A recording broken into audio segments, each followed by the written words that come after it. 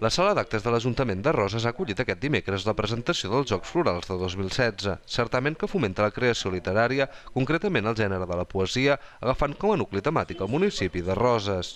L'impulsor d'aquest concurs va ser el Rotary Club Roses Empúria Brava i en concret la seva membre Maria Terrades, que va ser la que va donar forma a aquests Jocs Florals, que podem dir que la seva cinquena edició ja estan consolidats. Doncs vol dir que aquest acte està ja consolidat, el seu format també està, està consolidat, i, i que, que a banda de que serveixi de, de promoure la, la, la poesia, doncs també fa que, que, que enriqueix el nostre patrimoni literari de, del nostre poble. No? És per això que vull donar les gràcies a, a els organitzadors, a, a la gent de, del Rotary, a totes les persones que, que es presenten, que, que formen part de, del jurat i, i també animar pues, a tots els poetes de, del nostre poble pues, perquè es presentin en, en aquesta edició. La temàtica central del concurs és el municipi de Roses i s'estableixen tres categories amb una temàtica específica. La rosa natural rosa pels poemes que parlin de la vila, la rosa natural groga pels poemes que tractin sobre la vida al mar i la rosa natural blanca per aquells que es centrin en els monuments del municipi.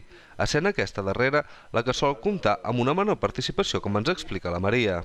Penso que s'ha d'estudiar més el tipus de, de de roses i fer un èmfasi especial en, en, en aquest tema perquè hi ha molt poca participació amb el sector de, amb la convocatòria de, de, del tema que parla de, dels, del,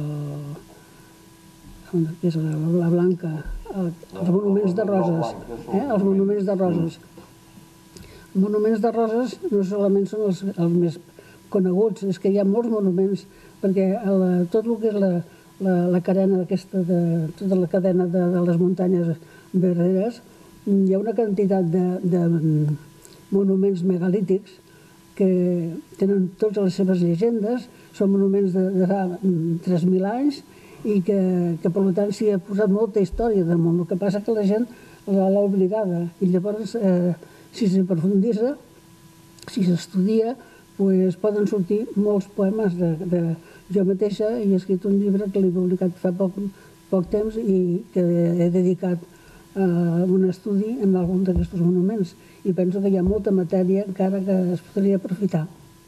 Pel que fa a les bases del concurs, cada participant podrà presentar-se a les categories que desitgi amb un màxim d'una obra per categoria, tot i que només podrà obtenir un premi. Les obres han de ser originals, inèdites i no poden haver estat premiades en altres concursos. L'extensió ha de ser d'entre 14 i 40 versos i l'estructura mètrica és lliure.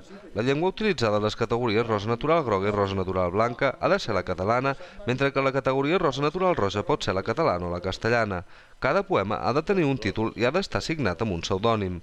Totes les categories tindran com a premi una placa commemorativa i 375 euros. Els poemes guanyadors es publicaran a la revista de Festa Major, un concurs pensat especialment per a totes les persones aficionades a aquest gènere literari.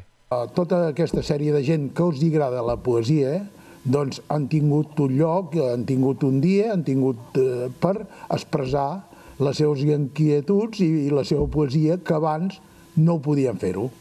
Uh, amb això, cada any, i estem veient els poetes que s'hi presenten, i quasi bé són els mateixos, però és un goig de que uh, haguem destapat una cosa de que estava una mica tancada. La convocatòria per presentar els poemes està oberta i les obres es poden presentar fins al divendres 27 de maig al Servei d'Atenció al Ciutadà del mateix Ajuntament, on també s'hi poden trobar les bases del concurs.